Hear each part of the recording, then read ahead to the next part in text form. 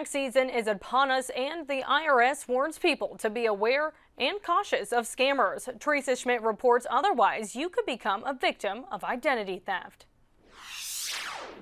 The tax season is here and so are the scammers. You get a written IRS notice that arrives in the mail stating that more than one tax return was filed with your social security number. It means scammers got your information and filed early to steal your refund. IRS has something new to protect you.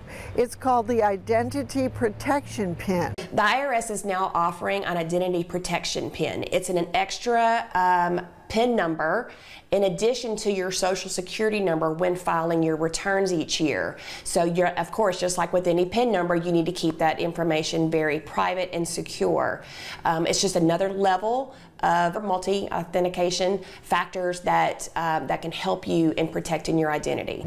And you can access it on the IRS website. Teresa Schmidt, 7 News.